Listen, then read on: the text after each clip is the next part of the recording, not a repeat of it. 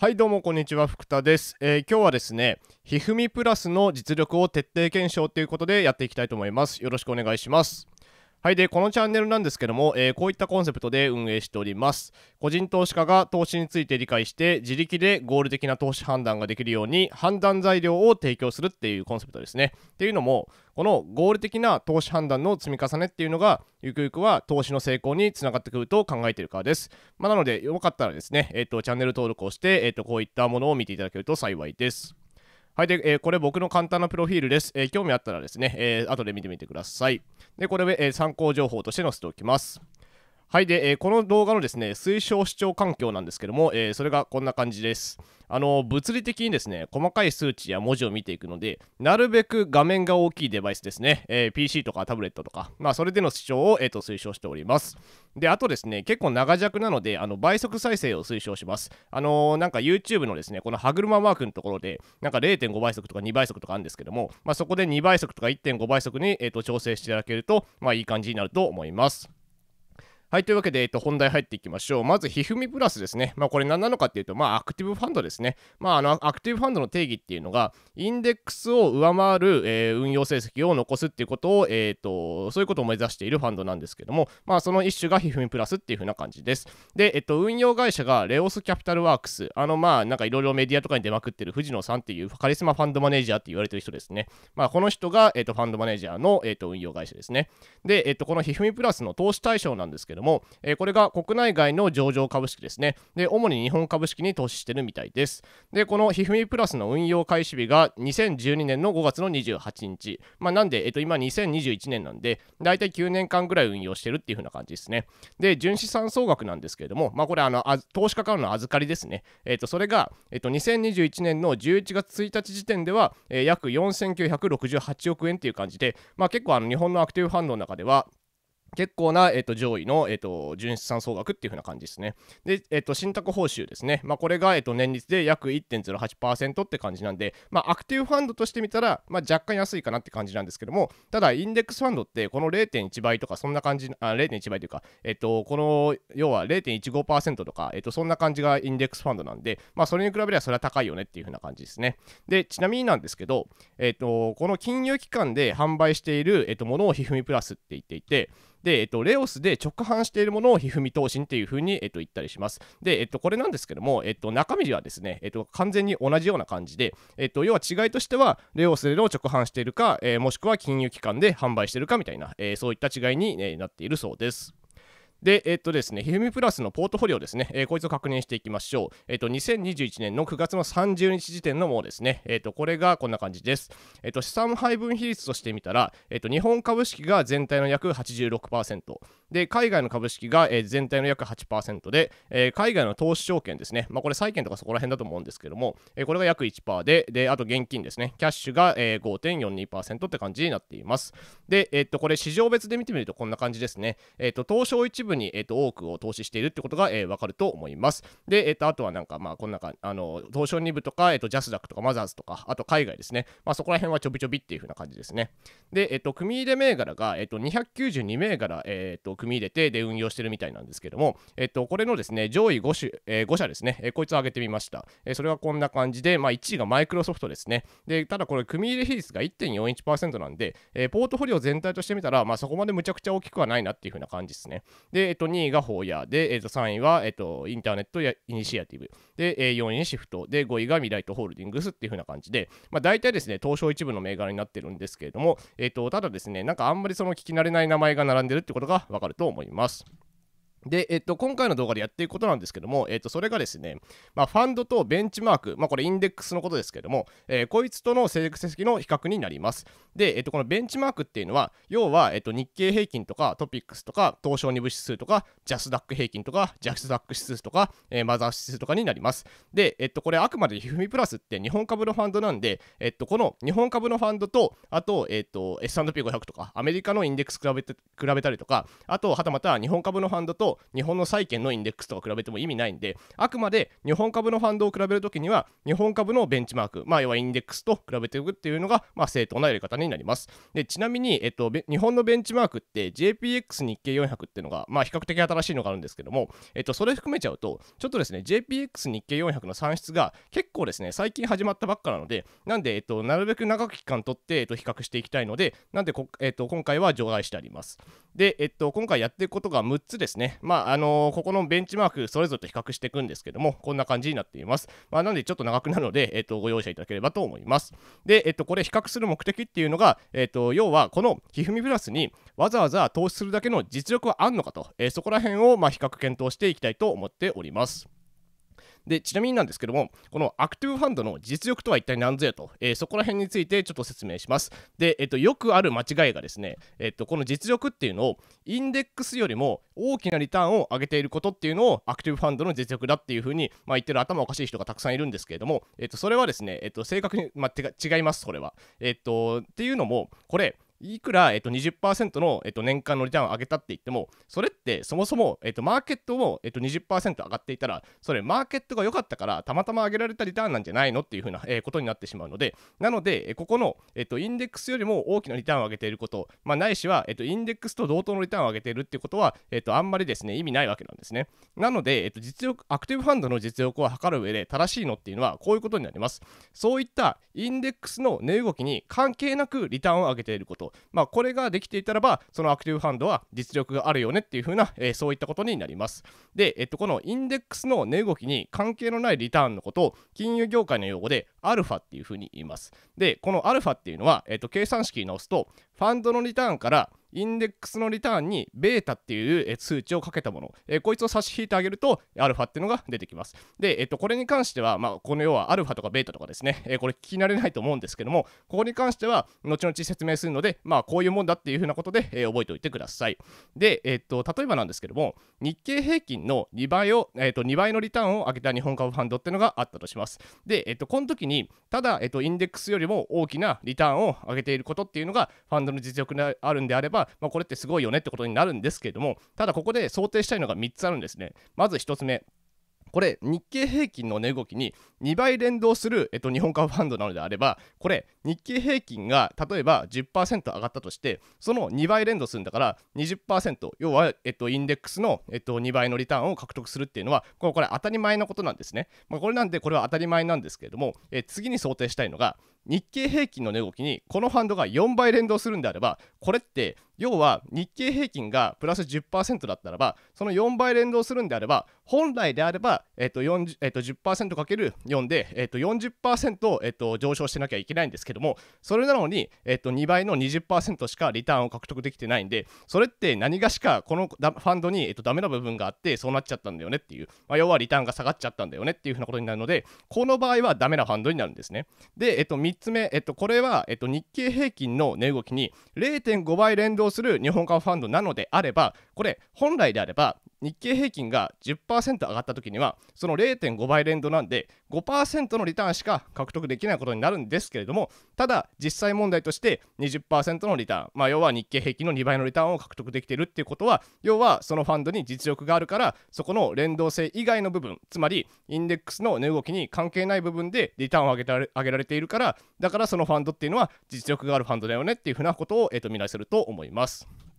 で、えっと、先にですね、えっと、とりあえず、えっと、今、アルファとかいろいろ言ったんですけども、とりあえずですね、えー、このひふみプラスに実力があるのかないのかと、えー、そこの結論から先に言いたいと思います。えー、それがですね、こんな感じです。とりあえず、実力がないとは言えないです。あるにはあります。ただですね、これ、これまでの、えっと、ファンドの基準価格の上昇の大半っていうのは、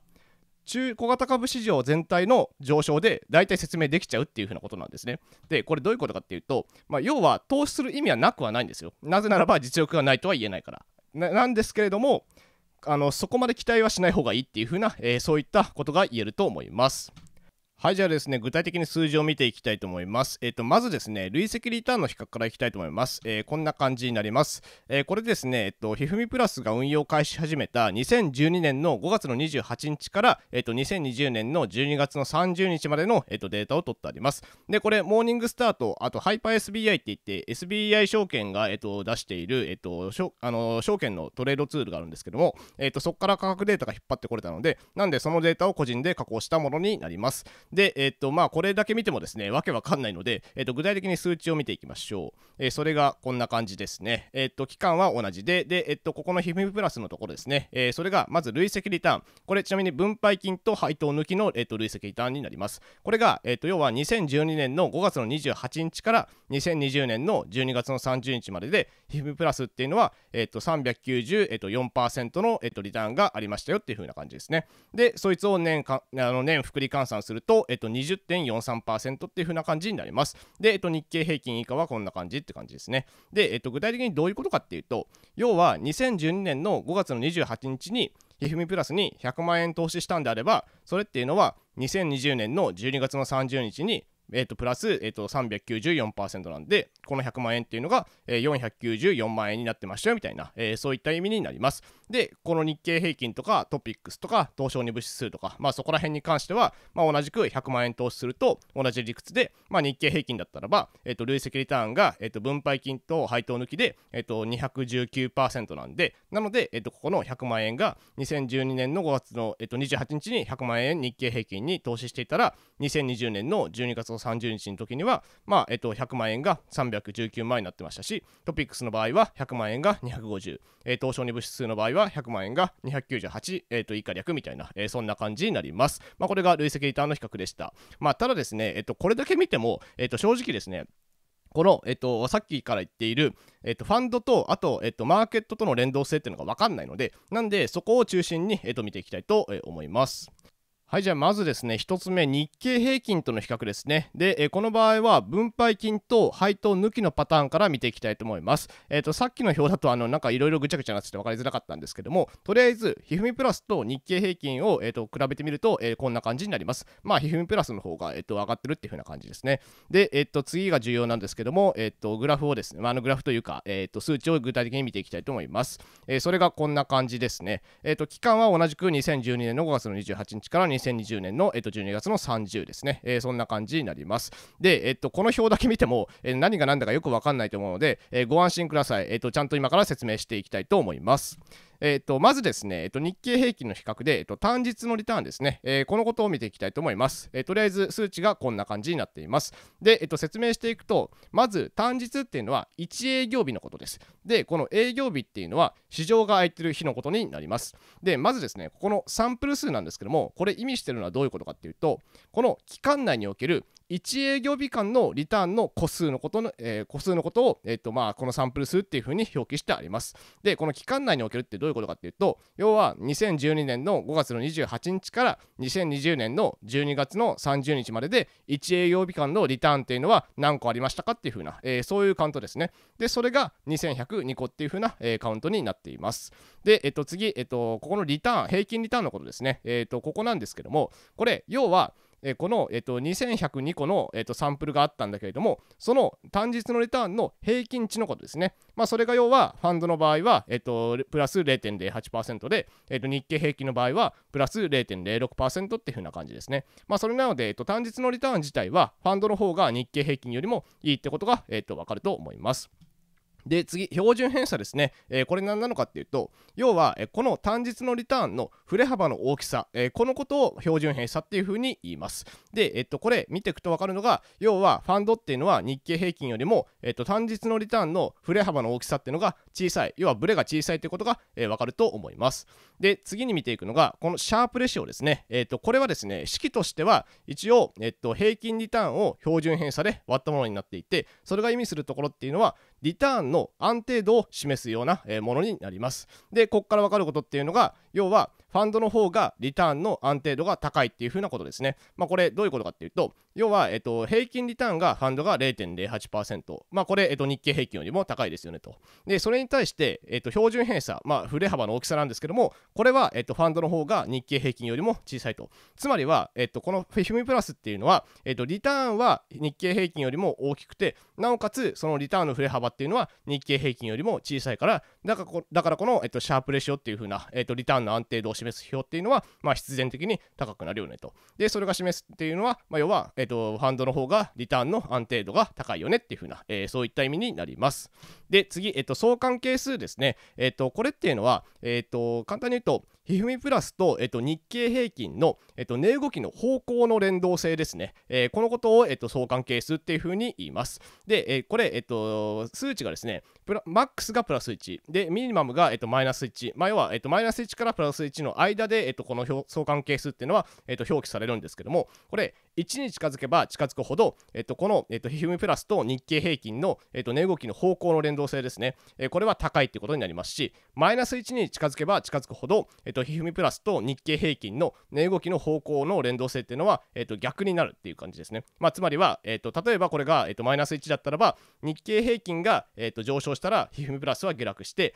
え、日経平均が下落したらば、ひふみプラスは逆に上昇するみたいな、え、そういった関係性になります。で、ただ、ここ、えっと、見ていくと、えっと、0.83ってなってるので、これ1に限りなく近いので、だから、これ意味するところは、ファンドと日経平均の日々の値動きの方向っていうのはほぼ同じですよと。つまりは日経平均が上昇したら、えー、とファンドも、えー、と上昇するし、えー、と日経平均が下落したらばファンドも下落するよみたいな、えー、そんな感じになります。はい、それで次、ベータ、えー、とここですね、えー、これが0.73ってなってるんですけども、えー、これどういうことかっていうと、もうこのベータっていうのが、えー、と今、相関係数は、えー、と値動きの方向の連動性を示してるんですけども、えー、とこの相関係数には、えー、とファンドと日経平均のディスクの幅っていうのは考慮してないんですね。で、このベータっていうのは何なのかっていうと、えっ、ー、と、ファンドと日経平均の値動き、リスク含めた値動きの方向の連動性、えー、これを示したものになります。で、えっ、と、この、えっと、0.73ってなってるんですけども、これ意味するところは何なのかっていうと、例えば、日経平均が1日で、えっと、1%上昇したんであれば、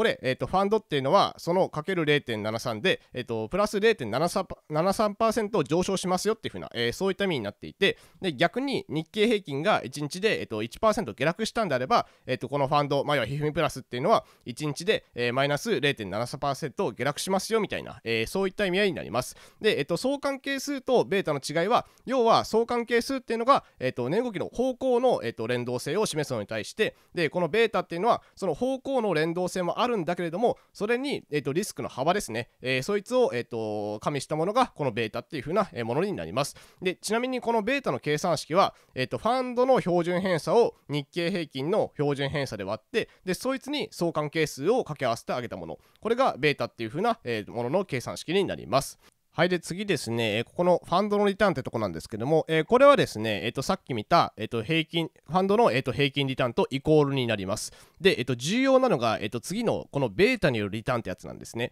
で、えー、とこれっていうのはどういうことかっていうと、日経平均の上昇によって得られた分のリターンのことになります。で、これ一応計算式っておくと、ここの、えっと、日経平均の平均リターンに、えー、ここのベータですね、えー、こいつを掛け合わせてあげたものが、ここの0.05って形になってきます。で、これ、えっと、意味するところはですね、えー、ここの、えっと、ファンドの平均リターンっていうのは、まあ、単日のリターンっていうのが、えっと、プラス0.08%あったんだけれども、えっと、そのうち、えっと、0.05%っていうのは、日経平均の上昇によって得られた分のリターンですよっていう風な、えー、そういった意味合いになります。で、えっと、次、えー、これが一番重要というか、あのー、ここの、えっと、動画の角なんですけども、それがここのアルファによるリターンになります。で、これ0.04%となってるんですけども、えー、これどういうことかっていうと、これがファンドの実力によって得られた分のリターンということになります。で、これ計算式としてはまあ単純で、えっと、ファンドのリターンからベータによるリターンを引いたもの、えー、それがこのアルファによるリターンの0.04%って形になります。でですね、一応このベータによるリターンとアルファによるリターンを足し合わせると、えっと、0.05足す0.04だから0.09になるんじゃねえのっていう風な声もあると思うんですけども、えー、これですね、一応、えっと、小数点第3位を四捨五入してあってこういう結果になっているので、なのでちゃんとここの、えっと、ファンドのリターンっていうのはベータによるリターンとアルファによるリターンを足し合わせたものと、えっと、イコールになりますよってことだけ押さえておいてください。はい、それでですね、えっと、ここのですね、リターンの割合、えー、カッコベータって書いてあるんですけども、えー、これはですね、要は、ベータによるリターンは、ファンドのリターンのうちの何パーセントですかっていうことを示したものになります。なんで一応計算式言うと、えー、ベータによるリターン割るファンドのリターンがこの56%になるよっていうふうな、えー、そんな感じですね。で、これが意味するところっていうのは、要は、ファンドのリターンの56%は日経平均の上昇によるものですよっていう風な、えー、そういった意味になります。で、えー、ここの一番下のですね、えっ、と、アルファによるリターンの割合っていうことなんですけども、えー、これっていうのが、要は、ファンドのリターンの44%っていうのは、えー、ファンドの実力によるものですよみたいな、えー、そういった意味になります。これがですね、えーと、単日の、えーと、説明でした。はい、じゃあ続けて1年間の場合も見ていきましょう。えー、それがこんな感じになります。で、この1年っていうのは、えーと、250営業日のことを言います。で、えー、とこの営業日っていうのは、えー、と市場が空いてる日のことですね。で、えー、このサンプル数の1853ってやつなんですけども、えー、これっていうのは、えー、2012年の5月の28日から2020年の12 12月の30日の期間における250営業日間のリターンの個数のことですね。えー、こいつが1853個っていう風な、えー、そういった意味になります。で、ここの、えっと、平均リターンのとこなんですけども、まあ、これっていうのが、要は、この1853個の、えっと、250営業日間のリターンの平均値ですね。えー、それが、えっと、ファンドの場合は19.78%で、日経平均の場合は13.02%でしたよと、えー、そういった意味になります。まあ、つまり、ここから分かることっていうのが、要は、この1年間のリターンっていうのは、ファンドの方がリターンが高いですよってことが、えー、分かると思います。で、次、えっと、標準偏差、まあ、リスクって呼ばれるやつですね。えー、それが、えっと、ファンドが20.48で、日経平均が20.09ってなってるんですけども、まあ、この、えっと、標準偏差っていうのが、要はこの1年間のリターンの振れ幅の大きさですね。えー、こいつのことを言います。で、えっと、ここから分かることっていうのが、要は、ファンドと日経平均の1年間のリターンの振れ幅の大きさっていうのはほぼ同じですよと、えー、そういったことがわかると思います。で、次、シャープレシオですね。まあ、このシャープレシオっていうのは、この1年間のリターンの安定度を示す指標ですよと。で、この平均リターン割る標準偏差っていうふうな、えー、そういった計算式になります。で、これ、ファンドが0.97で、日経平均が0.65ってなってるんですけども、これ、ファンドの方が、要は、えっと、リターンが高くて、えっと、リスクが同じぐらいなので、なんで、えっと、0.97っていう風な高い数値が出てくるんですけども、まあ、これが意味してるところっていうのは要はファンドの方がリターンの安定度が高いですよっていう風な、えー、そういった意味になります。で、えっと、次、相関係数ですね。えっと、0.88ってなってるんですけども、えー、これ意味するところっていうのは、ファンドと日経平均の1年間の値動きの方向はほぼ同じっていう風なことですね。で、次、ベータですね。えっ、ー、と、値動きの方向に、えーと、リスクを加味したものになるんですけども、えー、これから0.9ってなってるんですけども、え、こいつが要は、日経平均が1年で、えーと、10%上昇したら、ファンドは1年で、えーと、9%ぐらい上昇しますよと。で、えー、と逆に日経平均が1年で10%下落したら、え、ファンドは1年で9%下落するみたいな、え、そういった意味になります。で、ここのファンドのリターンは、えー、とさっき見た、えー、と平均リターンのことですね。で、このうち、えー、とベータによるリターン、つまりは、えー、と日経平均が1年間で上昇したことによる分のリターンですね。えー、これが11.7%、えー、と73%ってなってるんですけども、えー、これが意味するところっていうのは、要は、えー、とこの19.78%のうち、えー、と11.73%は日経平均が1年で上昇した分、つまりマーケットが好調だったから得られた分のリターンですよみたいな、えー、そういった意味になります。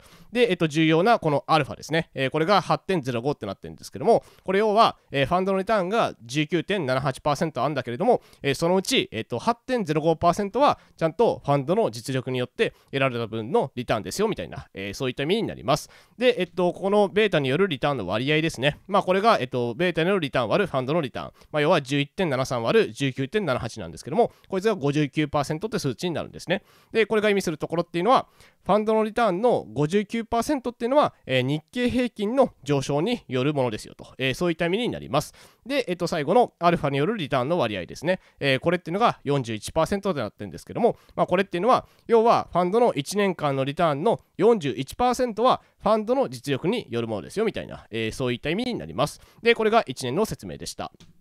で、ちょっと年限飛んで5年を見ていきたいと思います。えー、それがこんな感じですね。まあ、あのー、説明自体は大体同じなんですけども、えー、と一応聞いておいてください。で、この5年っていうのは、えー、と1250営業日です。え、計算式としては、要は1年が250営業日なので、えー、かける5で1250営業日みたいな、え、そんな感じですね。で、営業日っていうのは市場が空いてる日ですね。で、これ、えー、とサンプル数が、えー、とサンプル数が853ってなってるんですけども、まあ、これっていうのは、この期間内における1250営業日間のリターンの個数のことですね。まあ、それが853 853個ってあの853個取れましたよっていうふうな、えー、そんな感じになります。で平均リターンですね。ファンドが、えーと、129.79%で日経平均が59.59%ってなってるんですけどもまあこれが要は、えー、この853個の5年間のリターンの平均値のことが、えー、こうなりますよみたいな、えー、そういったことになります。でこれ見ると、えーとまあ、圧倒的なんですけども、えー、ファンドの方が5年間のリターンが、えーと、ちゃんと高いですよみたいな、えー、そういうことがわかると思います。で、えーと、次標準偏差ですね、えー、ファンドが71 1.78で、えっ、と日経平均が42.74ってなってるんですけども、えー、これから分かることっていうのが要は5年間の、えっ、とリターンの振れ幅の大きさっていうのはファンドの方がリターンの振れ幅が大きいということが、えー、分かると思います。えー、で、次、シャープレシオですね。え、これ、要は、えーと、リターン割る標準偏差なんですけども、まあ、これは、えーと、リスク自体は、えーと、ファンドの方が高いんだけれども、まあ、それよりも、えー、とリターンは、えー、とファンドの方が高いから、だから、えー、とシャープレシオっていうのは上がってくるっていうふうな、え、そんな感じですね。で、これが分かるっていうのは、えー、とファンドの方がちゃんとリターンの安定度が日経平均よりも高いですよみたいな、えー、そういった意味になります。で、相関係数0.97なんで、え、これファンドと日経平均の5年間の値動きの方向っていうのはほぼ同じっていうことが分かります。で、えっと、ベータが1.63ってなってるんですけども、えー、これどういうことかっていうと、例えば日経平均が5年間で10%上昇したら、ファンドは5年間でそのそれかける1.63で16.30%理論上は上昇しますよみたいなことになっていて、で、逆に日経平均が5年間でマイナス10%下落したんであれば、えー、ファンドは、えっと、これすみません、1年だったんですけど、5年ですね。えっと、5年間で、えー、マイナス16.30%下落しますよみたいな、えー、そういったことになります。で、えっと、次、ファンドのリターンですね。えー、これはまあさっき言ったファンドの平均リターンなんですけども、えー、ここのベータによるリターンが97.07%となってるんですけども、まあ、これっていうのは、要は日経平均の上昇によって得られた分のリターンですよと。つまりは、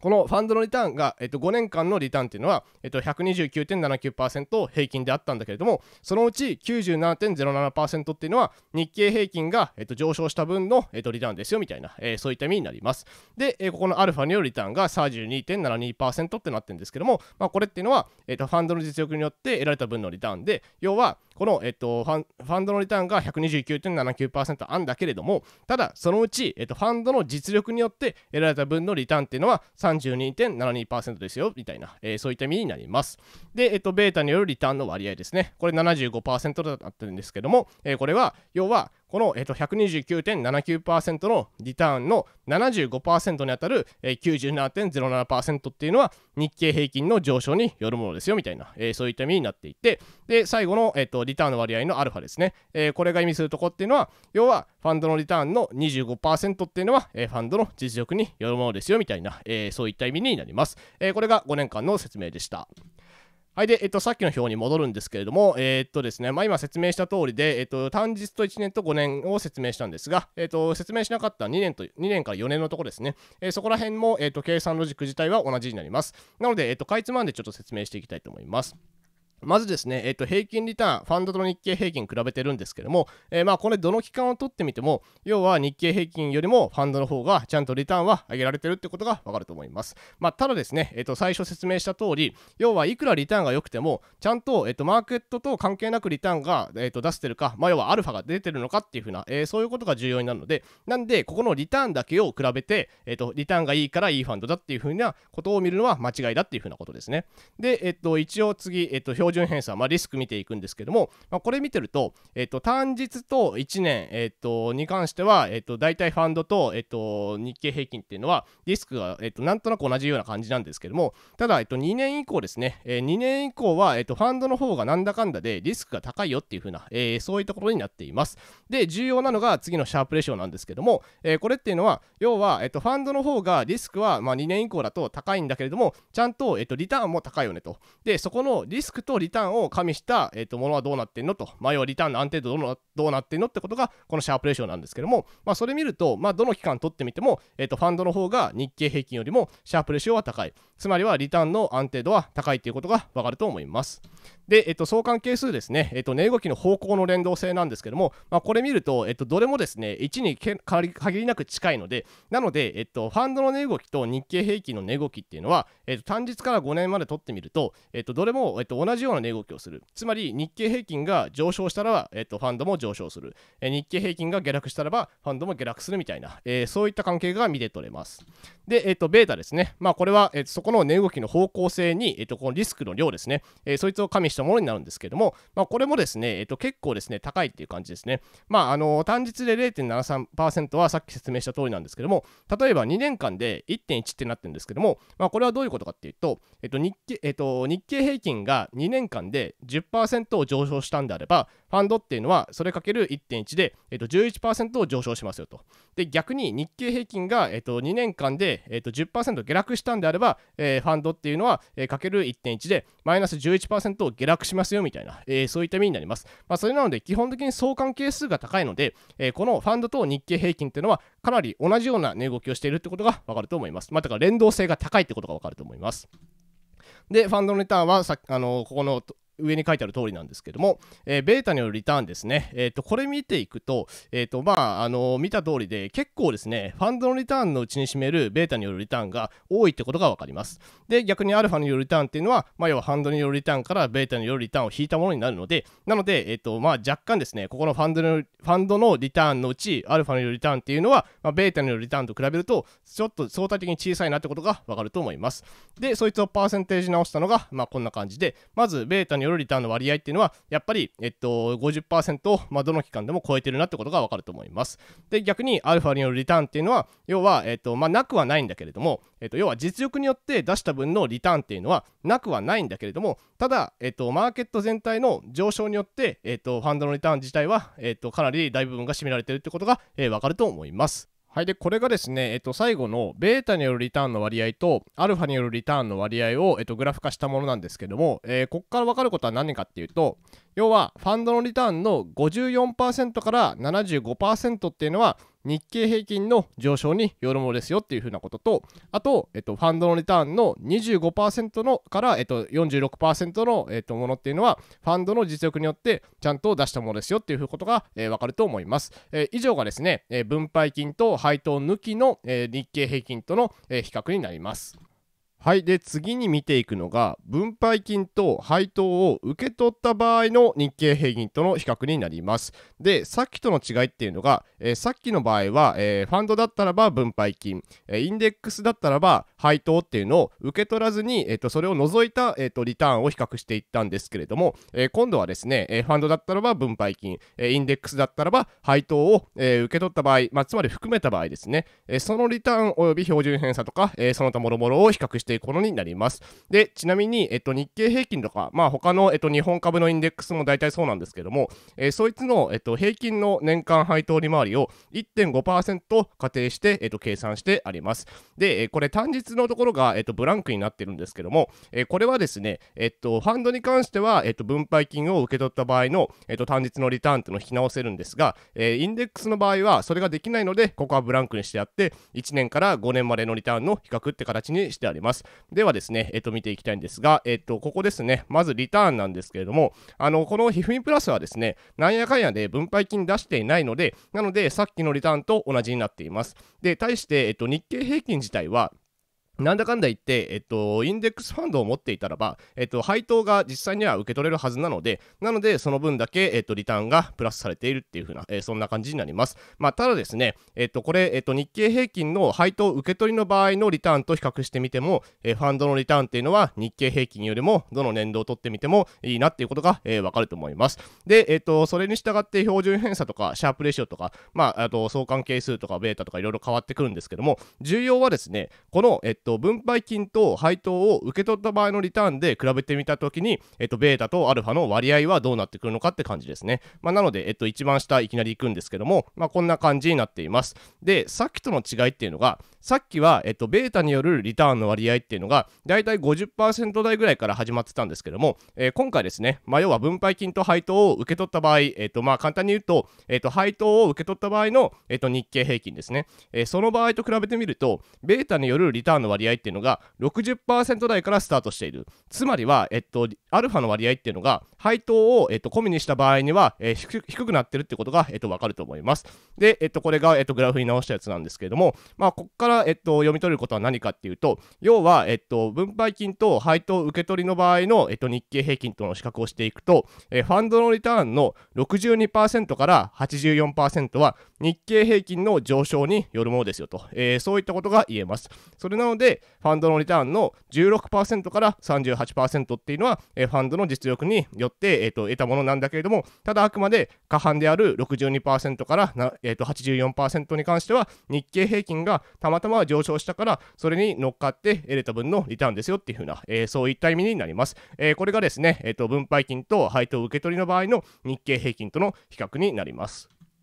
で、次ですね、えー、と今日経平均見ていったんですけども、えー、と今度トピックスですね、えー、こいつと比較していきましょう。で、えー、とこの場合は、えー、と分配金と配当抜きの場合ですね。で、えー、と累積のリターンがこんな感じになっていて、まあ、ひふみプラスの方が、えー、と累積のリターンも、あまあ、それに従って年複利換算のリターンも上っていう風な感じですね。まあ、ただ、これだけ見てもですね、えー、と連動性がどうとかよくわかんないので、え、細かい数値を見ていきたいと思います。え、それがこんな感じですね。え、期間は同じく2012年からっていう風な感じになります。で、えー、とまずですね、えこのリターンなんですけれども、えこれはですね、どの、えー、と単日から1年から5年、えどれ取ってみても、えー、と要は、えー、とファンドのリターンっていうのはトピックスのリターンですね。まあこれ、えー、と配当抜きですけども、配当抜きのトピックスのリターンよりもいいってことがわかると思います。それで、えー、と標準偏差ですね、まあ、リスクのことですけれども、えこれ見ると、まあ、さっきの日経平均と同じく、えー、と単日と1年に関しては標準偏差っていうのは、えー、とファンドとトピックスで、まあ、ほとんど変わらないんだけれども、ただ2年以降ですね、2年から5年にかけてはファンドの方がトピックスの、えっと、リスクよりも、えっと、高くなってるってことがわかると思います。まあ、ただですね、えっと、重要なのは、えっと、リスクに対してどれだけリターンを上げられてるかってことなんですけども、まあ、それがこのシャープレシオですね。えー、これ見ていくと、要は、なんだかんだで、えっと、ファンドはリスクは、えっと、一応トピックスよりは高いってことになってんだけれども、ただ、えっと、リターンとの兼ね合いで見てみると、シャープレシオ、まあ、要はリターンの安定度っていうのは、ファンドの方がトピックスよりも、えっと、どの期間取ってみてもいいってことが、えー、わかると思います。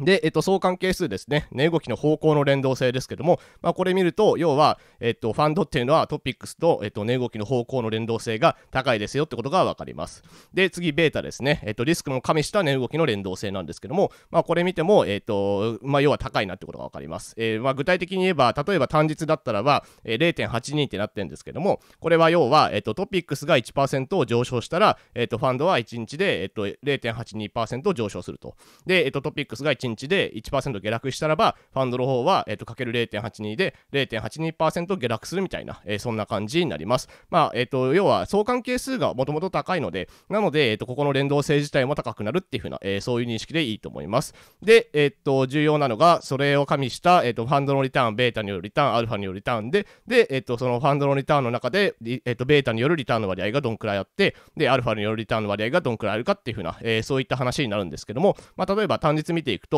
えっと、ベータによるリターンの割合っていうのが51%ってなっていて、で、アルファによるリターンの割合っていうのが49%ってなっています。で、えっと、これっていうのはどういうことかっていうと、要は、えっと、単日のファンドのリターンは、えっと、0.08%あったんだけれども、平均で、そのうち51%に当たる0.04%は、えっと、トピックスが上昇したことによるリターンですよと。で、逆に、えっと、そのうちの0.04%、えっと、49%に当たる0.04%っていうのは、このファンドの実力によって得られたリターンですよ、みたいな、えー、そういった意味になっていて、で、えっと、ここの、えっと、1年ですね、隣の1年見ていくと、えっと、ベータによるリターンの割合が49%、アルファによるリターンの割合が51%ってなってるんだけれども、これっていうのは、ファンドの1年間の平均リターンの19.78%っていうののうち、えっと、49%に当たる9.61%っていうのは、えっと、トピックスが、えっと、1年間で上昇した分による恩恵を受けての、えっと、リターンですよと。で、えっと、19.78%の51%に当たる10.18%っていうのは、はえ、ファンドの実力によって、えっと、1年間で得れたリターンですよみたいな、え、そういった意味になります。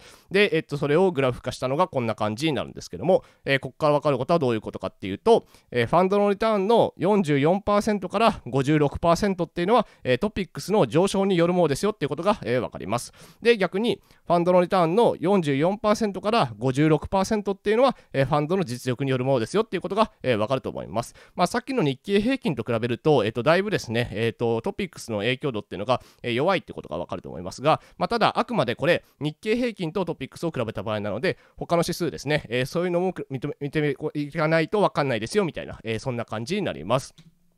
で、えっと、次ですね、えっと、トピックスとの比較で、えっと、今度は分配金と配当受け取りの場合ですね。まあ、簡単に言うと、えっと、トピックスの配当込みの場合ですね。まあ、再投資じゃなくて、え今回の場合は配当を受け取って、そのまま再投資しなかったって場合なんですけども、えそれの1年から5年のリターン、えこいつを比べてみたときに、えっと、ベータとアルファの割合がどうなるかっていうのを見ていきたいと思います。えそれでですね、まずリターンなんですけども、まあ、これ、えっと、ファンドは、えっと、さっきから言ってる通り、分配金出してないので、数値変わんないんですけども、えトピックスの場合は、えっと、伝間で、えっと、1.5%の配当を、え、リターンとして上乗せしてやるみたいな、え、そんな感じになります。まあ、ただそれで見てみても、さっきの日経平均と同じく、えー、とファンドの方がトピックスよりも平均リターンっていうのは良かったってことが分かります。で、えー、と重要なのが、えー、とそれを含めた、えー、とベータとアルファの割合がどうなるかっていう風な感じなんですけども、えー、とこれ見ると、えー、と1年で見てみると、えー、とリターンの割合、あのベータによるリターンの割合ですね。え、これっていうのは、えー、と大体、えー、と19.78のうち、えー、と10.97から55%ありましたよと。で、アルファによるリターンの割合っていうのは、えー、19.78%のうち、えーと、8.81%なんで、それは全体の45%ですよと、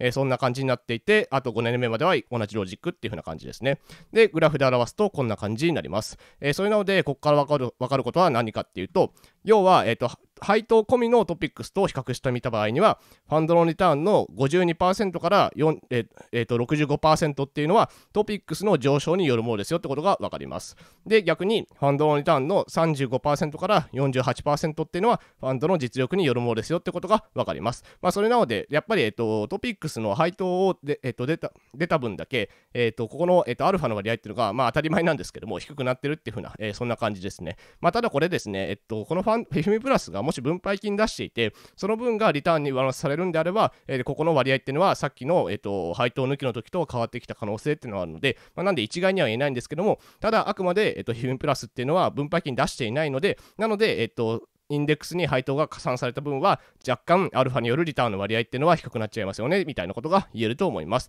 えー、以上がトピックスとの比較でした。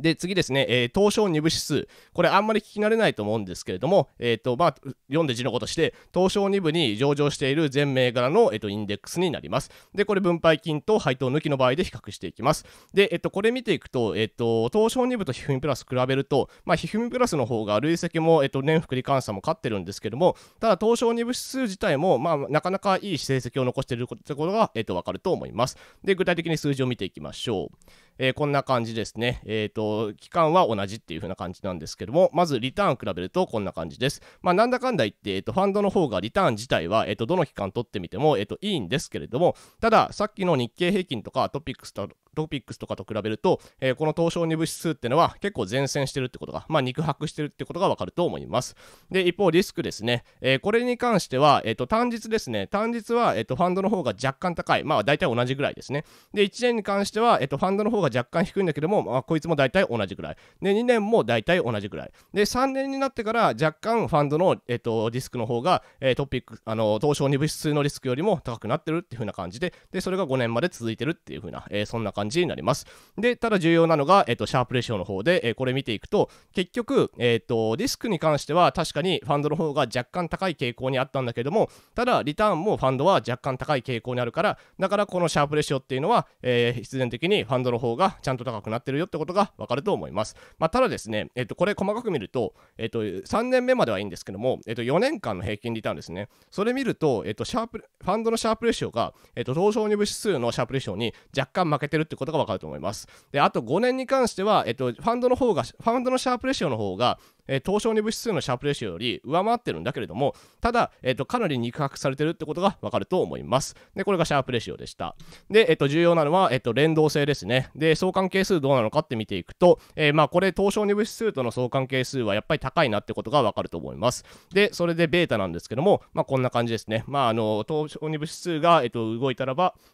同じ方向に、えーととえーと、ファンドも動くみたいな、そんな感じがわかると思います。で、えーと、重要なのが、ベータとアロファの割合なんですけども、え、こんな感じですね。えっ、と、まあ、これだけ、これだけ見ると、えーと、結構ですね、この4年のところを見ていくと、えーと、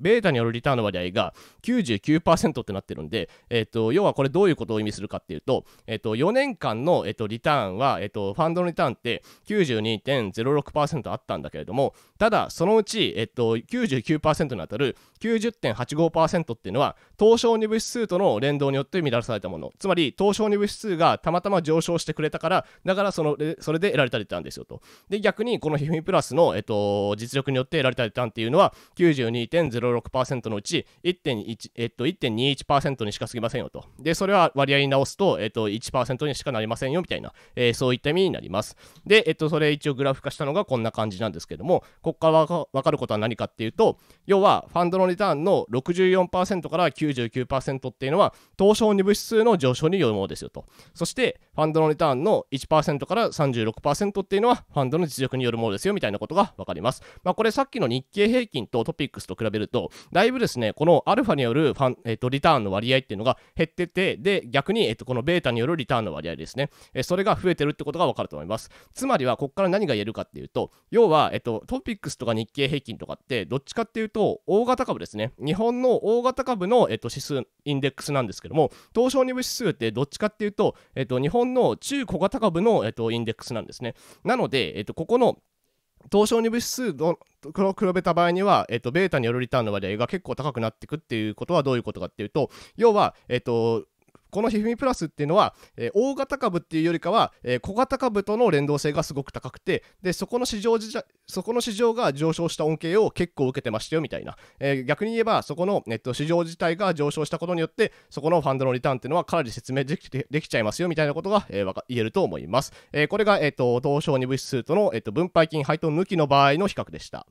で、問題は、えっと、分配金と配当受け取りの場合の比較ですね。えっと、こいつ見ていくんですが、えっと、平均リターンがこうなってます。ファンドは変わらずなんですけれども、えっと、平均リターンの、えっと、東証2部指数ですね。えー、ここは若干変わ、えっと、増えてるっていう風な感じですね。えー、まあ、ただ、なんだかんだ言っても、えっと、ファンドの方が勝ってるってことがわかると思います。で、重要なのが、これでベータとアルファがどう変わるかっていう風な感じなんですけども、えー、こんな感じになっています。で、えっと、こいつをグラフ化したものが、え、こういう感じですね。え、これ見ていくと、えっと、4年のところがですね、え、ベータタによるリターンの割合が107%ってなっていてでアルファによるリターンの割合がマイナス7%ってなってるんだけれどもこれどういうことかっていうと要はえっ、とべなんだろうファンドの4年間の平均リターンっていうのがまあえっ、とあるわけなんですけどもそのうちえっ、と107%はえっ、と登場2部指数のえっ、と配当込みですね。配当込みの場合の値動きによって説明できるんだけども、え、マイナス7%これは要はひふみプラスがミスっちゃったからとかまあひふみプラスがそのえっ、と東証2部指数との違う運用をしていたからだからその分で削られちゃった分の、えーと、マイナスがこのマイナス7%っていう風な、えー、そういった意味になります。でここから読み取れることはこのファンドのリターンの、えーと、70%から107%っていうのは東証2部指数の配当込みの上昇によるものですよと、えー、そういった意味になっていて。で逆にファンドのリターンのマイナス7%から30%はファンドの実力によるものですよみたいなことが、えー、と言えると思います、えー、これが東証2部指数との、えー、と分配金配当受け取りの場合の比較でした。で、次、ジャスダック平均ですね。えー、こいつ見ていくんですが、まあ、このジャスダック平均も、ひふみプラスに対して割とですね、検討してるってことがわかると思います。ただ、これだけだと何とも言えないので、具体的な数値を見ていきましょう。えー、それがこんな感じですね。えっ、ー、と、リターンはファンドは変わらずなんですが、えっ、と、ジャスダック平均、これ見てみても、ただ、えっ、と、ファンドの方が、なんだかんだでリターンはいいってことがわかると思います。で、リスクはどうかっていうと、まあ、なんだかんだでですね、どの期間取ってみても、えっ、と、ファンドの方が、えっ、と、ジャスダック平均よりも、リスク自体は高いよってことがわかると思います。で、ただ、これだけで何もわかんないので、シャープレシオを見るんですけども、えー、シャープレシオに関しては、えー、っと、3年目までですね、単日から3年目まで見ていくと、えー、っと、ファンドの方がジャスダック平均よりも、リターンの安定度は高いですよってことになってるんですけども、ただ、えっと、4年ですね、4年は若干ファンドがジャスダック平均に負けていて、で、5年に関しては、まあ、若干勝ってジャスダック平均よりかは勝ってんだけれども、ただ結構肉薄してるってことがわかると思います。で、相関係数、まあ、これは、えっと、相関係数高いですね。え、ー要はジャスダック平均との値動きの連動性はかなり高いってことが分かります。で、ベータは、えっと、1超えてるので、まあ、こいつも連動性高いって感じですね。で、えっと、重要なのが、ベータとアルファの割合なんですけども、まあ、これかなりですね、えっと、分配金と、てか、配当抜きの場合ではあるんですけれども、えっと、ベータによるリターンの割合が結構高いってことが分かると思います。で、一応グラフに表すとこんな感じですね。で、ここから分かることは何かっていうと、このファンドのリターンの71%から97%っていうのはジャスダック平均の上昇によるものですよと。で、えっと、逆にファンドのリターンの3%から29%っていうのは、ファンドの実力によるものですよってことがわかると思います。えー、これが、えっと、分配金と配当抜きの場合ですね。なので、えー、これ分配金配当受け取りの場合、つまりジャスダック平均に配当が出た分をプラスした場合ですね、えー、この時にベータとアルファの割合がどうなるかって話なんですけども、まずリターン見ていくと、まあ、このリターン自体は、えっと、ファンドがジャスダック平均の配当込みの場合でも、えっと、勝ってるってことがわかると思います。ただ、ここの、えっと、ベータとアルファの割合ですね、えこれ見ていくと、えっと、結構ですね、えっと、ここのベータによるリターンの割合が、えっと、高くなってるってことがわかると思います。で、これグラフに表すとこんな感じですね。で、えっと、こっから言えるのは何かっていうと、要は、このファンドのリターンの79%から106%は、ジャスダック平均の上昇によるもので、で、ファンドのリターンのマイナス6%から21%っていうのは、ファンドの実力によるものですよってことがわかると思います。まあ、これ、えっと、さっきの東証2部指数と同じで、えっと、ジャスダック平均もどっちかっていうと、中小型株の、えっと、日本のインデックス、日本株のインデックスなので、なので、やっぱりさっきの、えっと、日経平均トピックスと比べてみると、結構中小型株の影響度が結構強いってことがわかると思います。え以上が、えっと、ジャスダック平均との比較でした。はい。で、次、ジャスダック指数ですね。えっ、ー、と、これの、えっ、ー、と、分配金と配当抜きの場合から見ていきたいと思います。えっ、ー、と、これ見ていくと、えっ、と、ジャスダック指数の方が、えっ、と、さっきの東証2部と、えっ、と、ジャスダック平均よりも、えっ、と、フミプラスに2深してるって感じですね。まあ、こいつもかなりリターンが良かったって感じですですけれども、え細かい数字はこんな感じですね。えっ、と、まず、リターンから見ていくと、えこれ見ていくと、ただ、なんだかんだ言いながらも、ファンドのリターンっていうのは、ジャスダック指数よりも上回ってますよと。で、えっ、と、標準偏差見ていくと、えっ、と、これもですね、えっ、と、ファンドの方がジャスダック平均よりも、まあ、リスクが高い、まあ、良い、良いことではないんですけども、大体そんな感じになってるってことがわかると思います。まあ、ただですね、えっ、と、1年と2年に関しては、まあ、若干、えっ、と、ファンドの方が、えっ、と、ジャスダック指数よりも、えっ、と、リスクは低いっていう風な感じですね。ただ、3、4、5って見ていくと、えっ、と、なんとなくジャスダック平均、ジャスダック指数か、ジャスダック指数よりもファンドのリスクの方が高いっていう風な感じになってます。で、シャープレシオはこんな感じですね。えー、まあ、ここもなんだかんだ言いながらも、えっ、と、ファンドは、えっ、と、ジャスダック指数よりもシャーププレシオ自体は高いですよと。えー、つまり、リターンの安定度は高いですよっていう風な感じですね。で、えっと、相関係数は、まあ、あの相関係数高いですよと。で、ベータに関しても、まあ、結構高いですよと。まあ、同じような値動きしますよって感じですね。で、それで、えっと、ベータとアルファの割合なんですけども、えー、これ見ていくて見ていくと、まあ、結構高いって感じですね。で、グラフに表すとこんな感じですね。えー、ここから分かることが、えー、ファンドのリターンの64%から88%っていうのは、ジャスダック指数の上昇によるものですよと。で、えっと、ファンドのリターンの12%から36%っていうのは、ファンドの実力によるものですよみたいな、えー、そういったことがわかると思います。えー、これが分配金と配当抜きのジャスダック指数でした。で、次、分配金と配当受け取りの場合ですね、えー、これどう変わってくるかって感じです。で、えっと、これで見ると、えー、なんだかんだでファンドっていうのは、えー、ちゃんとジャスダック指数の配当込みの場合ですね、まあ、受け取りの場合か、受け取りの場合の、えっと、リターンよりもちゃんと高くなってはいますよと。で、それでベータとアルファの割合がどう変わってくるのか、えこんな感じになります。まあ、さっきよりも、えっと、ベータによるリターンの割合が、えっと、増加してるっていう風な感じですね。まあ、これいい意味じゃなくて悪い意味ですけれども。で、えっと、これで、えっと、グラフに表すとこんな感じになっていて、えっと、ここから読み取れるのが、えこのファンドのリターンの69% 96%から96%っていうのは、ジャスダック指数の上昇によるものですよと。で、ファンドのリターンの4から、えっと、31%っていうのは、ファンドの実力によるものですよと。まあ、つまりは、やっぱり、なんだかんだで中小型株、中小型株市場の、えっと、マーケット全体の上昇の恩恵をかなり受けていて、それ自体で結構ファンドの値動きの説明ができちゃいますよみたいな、えー、そういったことがわかると思います。えー、これがジャスダック指数でした。で、えっ、と、最後ですね、マザーズ指数、えー、こいつも分配金配当抜きから見ていきます。えー、これ見ていくと、え結構ですね、マザーズ指数も肉薄してるってことがわかるんですけども、ただですね、えっ、と、これで細かい数値見ていくと、ちょっと違うなってことがわかると思います。え具体的にはこんな感じ。まず、えっ、と、リターン見ていくと、こんな感じですね。えっ、と、単日に関しては負けているんですけども、えっ、と、ただ、えっ、と、そこの後の1年から5年ですね、えここのリターンに関しては、えっ、と、ファンドの方がマザーズ指数よりも圧倒的にいいってことがわかると思います。で、リスク、えっ、と、これ見ていくと、えっ、と、ここも、えっと、要はファンドのリスクっていうのはマザー指数のリスクよりもちゃんと低く抑えられてますよと。そうなってくると必然的にこのシャープレシオっていうのもファンドの方がマザー指数よりもいいですよと、まあ、つまりリターンの安定度は高いですよっていう風な感じになっています。でただ相関係数ですね。これは、えっと、要は高いですね。えっと値動きは同じような感じ。でベータ見ていくと、えこれに関して言うと、えっと、ベータは結構下がってます。これなぜかっていうと要はこのベータっていうのは、えっと、ファンドの、えっと、リスファンドのリスクを、えーと、マザー指数のリスク、まあ、標準偏差で割ってでそいつに相関係数を掛け合わせたものになるのでそう見ていくとこのファンドの、えーと、標準偏差ですねこれっていうのは基本的にマザー指数よりも低くなっているのでなんで、えそいつを、えーと、相関係数に掛け合わせてあげるとこのベータ値っていうのは必然的に下がるって感じですね。まあなんだかんだ言いながらも、えー、と0.4とか、えー、と0.77とかあるので、えー、とななんとなく関係はあるんですけれどもただ、えー、と今まで見てきたものですね、えー、と日経平均とかトピックスとか、えー、と東証2部指数とかじゃあスタック平均じゃあスタック指数とか、えー、とそういったものと比べるとこのベータ値ってのは、えー、と少ないなってことがわかると思います。で、えー、と重要なのがここの割合ですね、えー、これ見ると結構ベータによるリターンの割合っていうのが、えー、と他のものと比べて低いってことがわかると思います。で、えー、とグラフに直すとこんな感じですね、えー、ここからわかることは要はファンドのリターンの28%から43%っていうのはマザーズ指数の上昇によるものでそんでファンドのリターンの57%から73%っていうのはファンドの実力によって出たリターンですよみたいなことが分かります、まあ、つまりはですね、えー、さっきの東証2部ジャスダック平均ジャスダック指数との連動性、まあ、つっていうかあのファンドのリターンが、えーと、そいつらの、えーと、上昇によって得られたのが結構大半でしたよっていうのに対して、えー、要はこのマザー指数とはあんまり関係なく、えーと、ファンドはリターン上げられてますよみたいな、えー、そういった意味合いになります。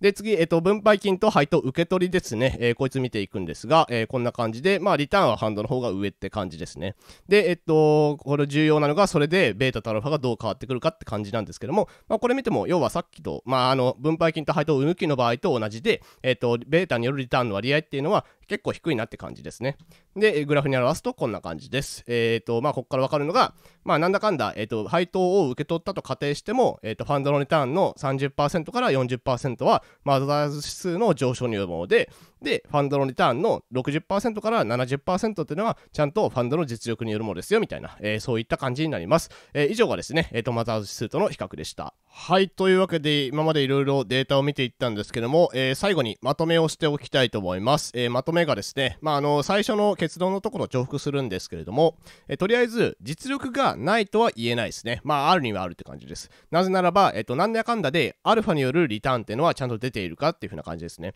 まあ、ただですね、えっ、と、ひふみプラスのリターンっていうのは、中小型株市場全体の値動きで大半が説明できるっていう風な、えー、そんな感じになっています。まあ、ただですね、このひふみプラスっていうのは、そもそも日本の中小型株への投資が得意なファンドなんですね。それなんですけれども、あの資金流入によってお金が増えちゃって、やむを得ず大型株への投資を始めたっていうのが、まあ、現在の姿だっていう風な、えー、そんな感じになります。まあ、それなので、えー、最近は東証一部上場銘柄の組入れ比率が高くなってるよっていう風な、えー、そんな感じになります。えそういうことから、え今後の焦点点っていうのは、ちゃんと小型株じゃなくって大型株にもうまく投資できるかと、えー、それが焦点となってくるのでなのでここでゴーサインが出るんだったらば投資すればいいと思いますしんちょっと微妙だなって思うんであれば、えーとまあ、投資しなければいいっていう風な、えー、そんな感じになります。まあいずれにせよですね、えっ、ー、と今見てきたデータですねもう一回ちょっと,、えーと、見直してみてでその上で、えーと、といろいろ決めていただければいいと思います。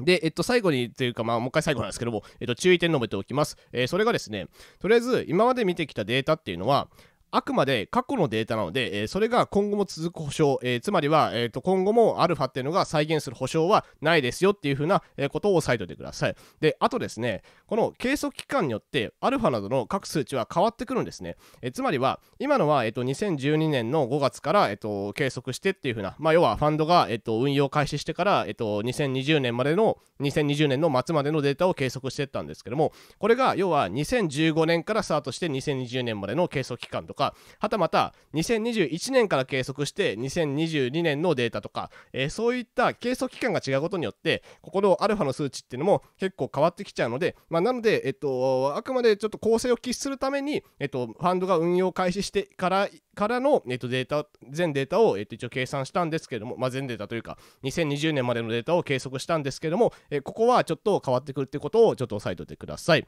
えこの上記の注意点を踏まえて、えっと、投資判断に役立てていただけると幸いです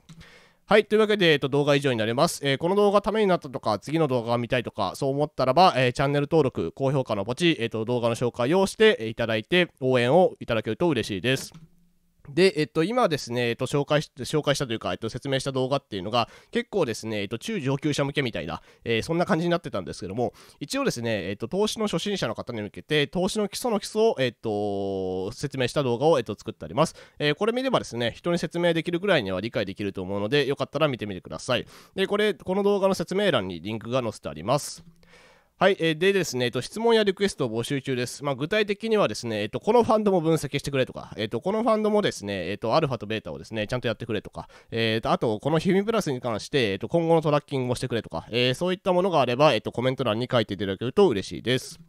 はい、というわけでご清聴ありがとうございました。あのですね、データがかなり多くて、しかも文字も小さくて、ちょっとですね、えっと、負担かけたと思うんですけれども、ただ、えっと、あくまでファンドの実力っていうか、まあ、アクティブファンドの実力ですね、えー、そういうのを見ていくためには、リターンが多いとか少ないとか、えー、そういったですね、えっと、ことだけ見てても全然わかんなくって、こういって、こういったあのベータとかアルファとかとかですね、えー、そういったものをちゃんと計測していかないと、そこのアクティブファンドの実力っていうのは測りかねるので、なので、ちゃんとそこら辺は、えっと、こういった動画とかで、まあ、保管するなり、まあ、自分で計算してみるなりしてやってみてください。はい、というわけで、えーと、今回は以上になります。どうもありがとうございました。またお会いしましょう。さようなら。